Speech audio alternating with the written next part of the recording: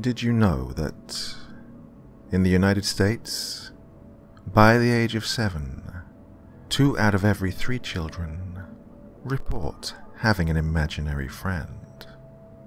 For those of us that never experience this phenomenon, it can be extremely hard to understand. But those figures are quite revealing. Imaginary friends are proven to improve mental health for those that experience such a friend.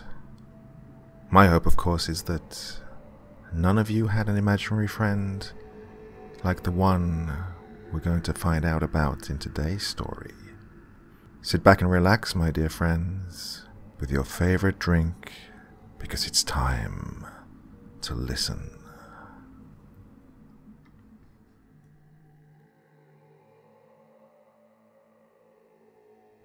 When I was very little, I met my very best friend.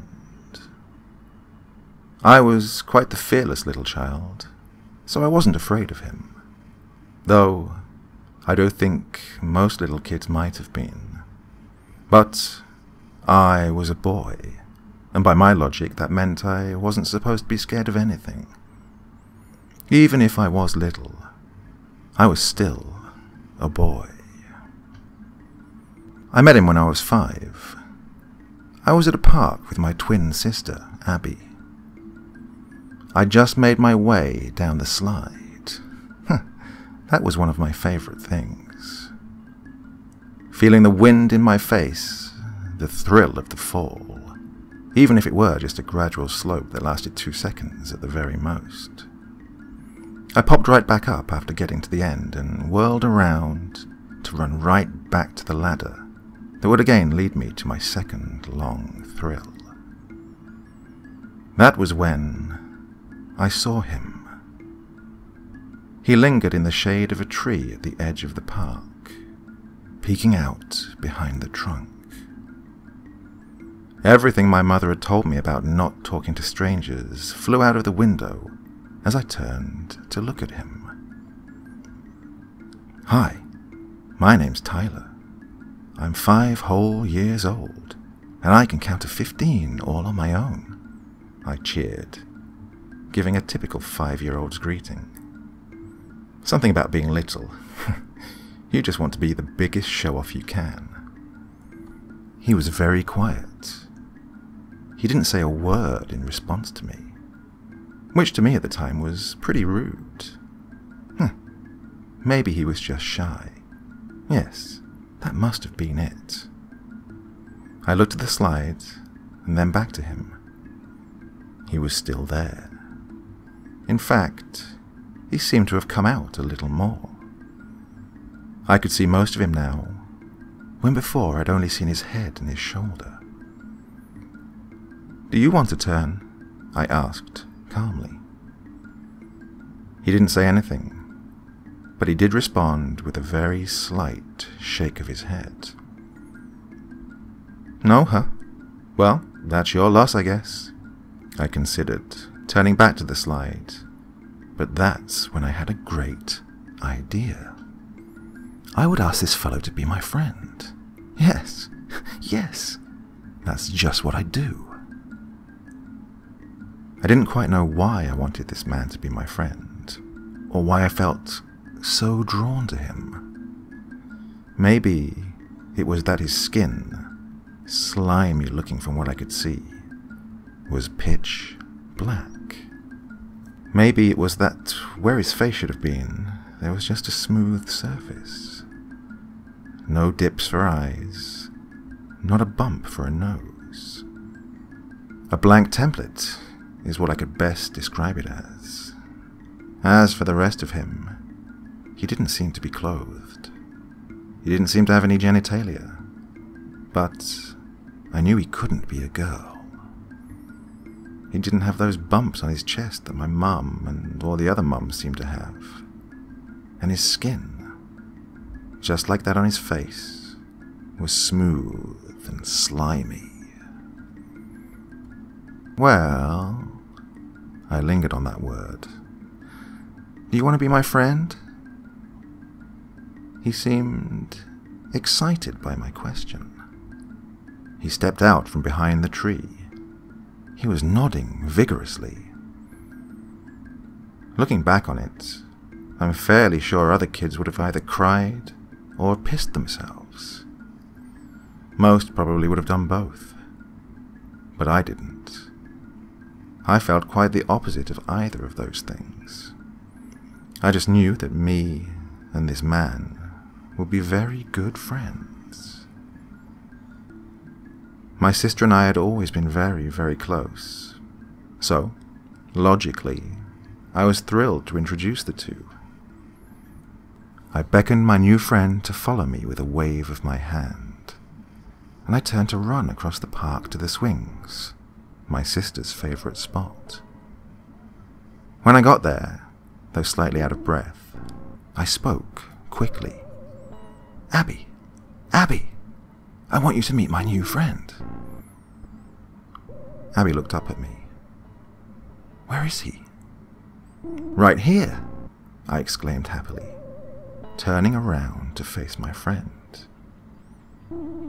It was then I discovered he wasn't behind me like he should have been. She giggled. We're going to be in first grade soon, Tyler. You should know imaginary friends are for babies. I furrowed my brow. My friend certainly wasn't imaginary. But where could he have gone? Ah, there he was, back behind his tree. His head poking out had given him away to me. He must have somehow seen I was looking at him, as he raised one hand, shiny with slime, and waved at me. I waved back. I'm going to play with Abby now, okay? I'll see you next time, I guess. I called to him. I don't know if he heard me, but I was pretty sure I saw him nod. When I turned back to Abby, she simply rolled her eyes at me before giggling. Come on, let's go play rock on the wall. I smiled and nodded.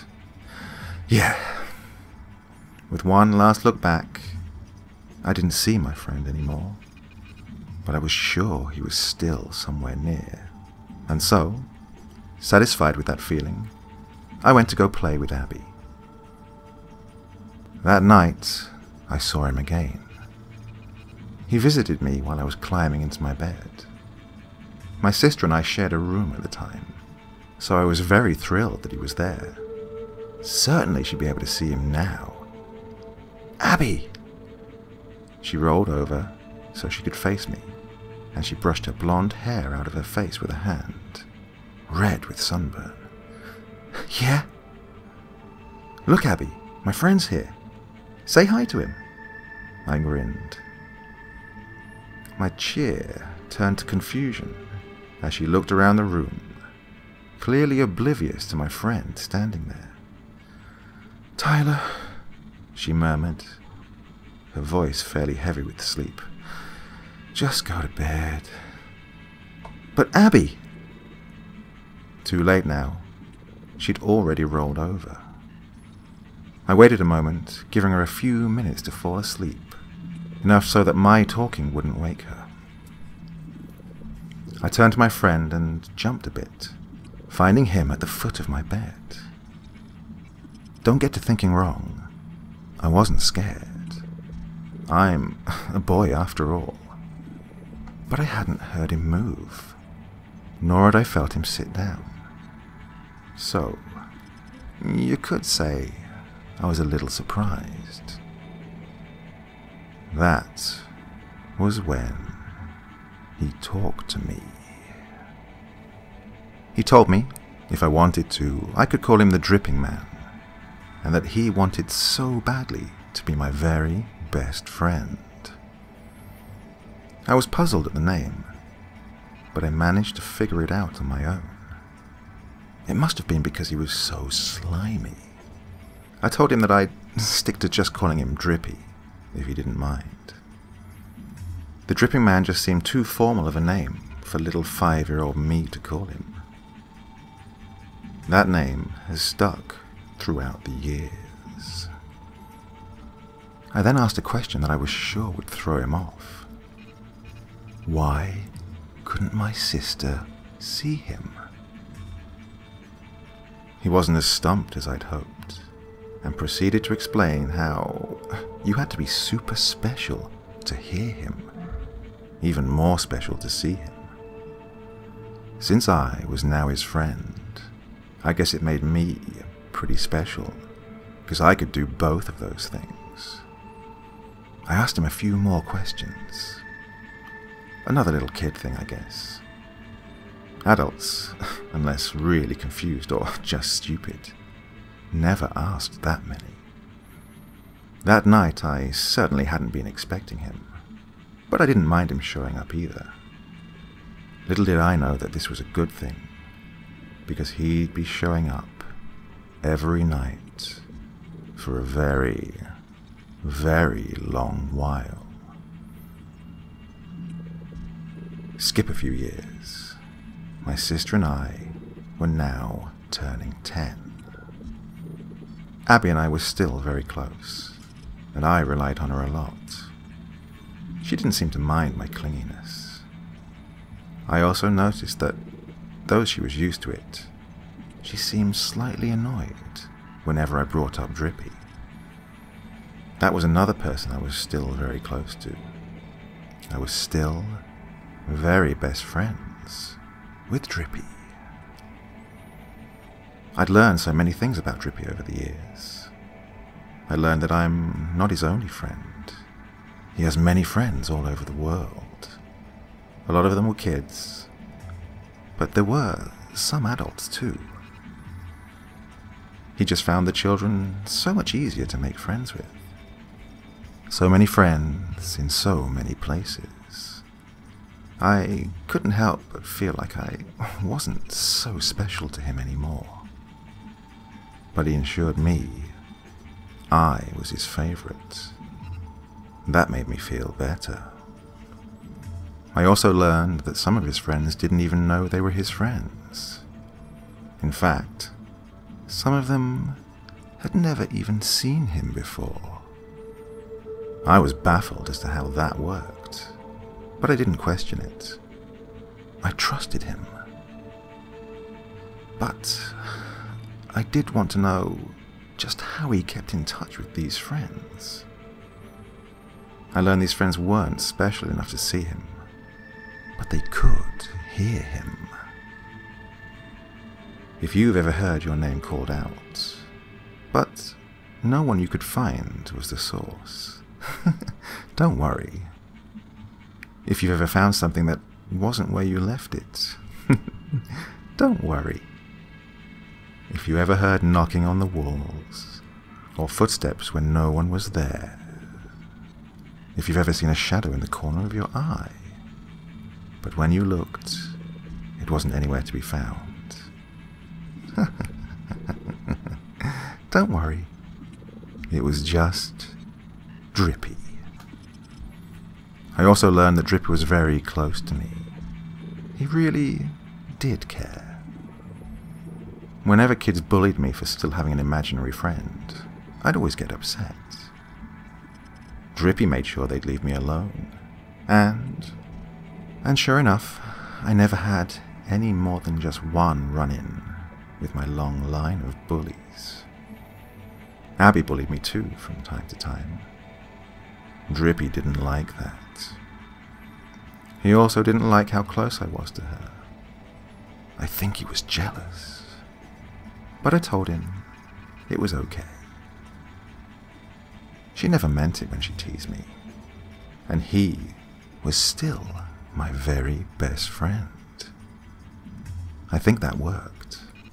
Lastly, and most importantly, I learned you should never, never, ever make Drippy mad.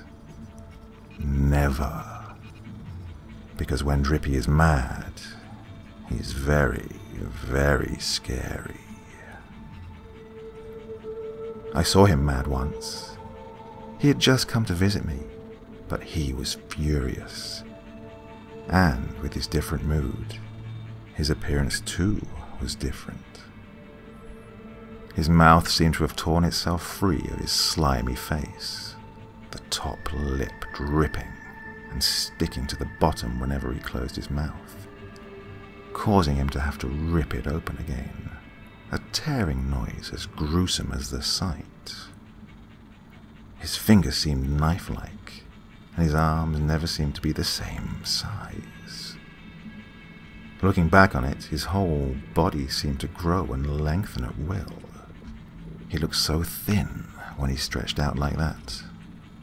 You could even see the shape of his bones if he went out far enough. And his screams. Oh God, his screams were more terrifying than the shrieks of a dying animal. All of this mixed with the sound of constant dripping. To calm him down, I had to hide a lot and shout from my hiding spot, telling him, begging him to please, please, please calm down, Drippy. It's, it's okay now. It took me almost half an hour to calm him down, but finally I did. I only had a scratch on my forearm to show for it. He pleaded for my forgiveness. He said it wasn't my fault. His other friend had gone and broken his heart. He'd only come to me because he knew I'd calm him down. I was just that special, I guess. Truth be told, I was still shaking when I agreed to forgive him. That was the first time I'd ever been scared of Drippy. The first time I'd ever been scared at all. He promised me he'd never be mad at me. Somehow, I doubted it. But for the next few years, he stayed true to his word. Today, Drippy broke the promise he made to me six years ago. He is very, very upset with me. My mom's on a business trip right now. She left a week ago and won't be back for another three weeks. So, in the time she's been gone, I felt the need to be very close to Abby. Last night, Abby and I got into a fight. She accused me of being clingy, too clingy. She demanded time to herself. She snapped and said she didn't want to be associated with some baby who still talked to himself. She said she didn't want me to be so close to her. Go away. To leave her alone. To shut up and fuck off.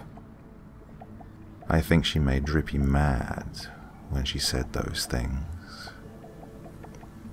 After the fight, I retreated to my room, sobbing. I was always very emotional, the emotion I'd felt the least in my life shining out. Fear. First, I'd been scared of Drippy. Now, I was scared my sister didn't want me. Little did I know how soon I would be scared again. I woke up this morning and I got up with an aching head. I was sure it was from the crying. I staggered to my sister's room. I wanted to apologize to her for everything, I guess. I knocked on her door. She was an early bird and it was 9:30 in the morning, so surely she'd be up. Oddly enough, she didn't respond. Maybe she was still mad. So, I opened the door slightly. Abby? I peeked inside, and I wanted to throw up. Had I eaten before, I would have. Before me, I saw Drippy. Calm looking, but surely furious before. He stood over a heap. A combination of soft, pale flesh and splatters of crimson. Abby. I went to talk, my voice hitching in my throat, a soft squeak being the only noise to come from me. He whirled around to face me. He told me he did this for me. As a wave of rage washed over me, my voice tore from my throat. Demon! I screamed at him. She was my sister. My sister! You just killed my sister. I hate you. I didn't want this. I sobbed, turning away as I watched him twitch in anger. I rushed back down the hallway, screaming as I went that I hated him. I hated him. Soon his screaming accompanied my sobbing. I slammed the door behind me. I locked it and I got my laptop. I need to write this. I need to. I need to write this now. Because I want to warn you while I still have the time. Drippy is very mad at me. I strongly believe I'll be joining Abby soon, but I have one more thing to tell you. Please, be careful of Drippy. Please, if you see him, please be careful of my old friend.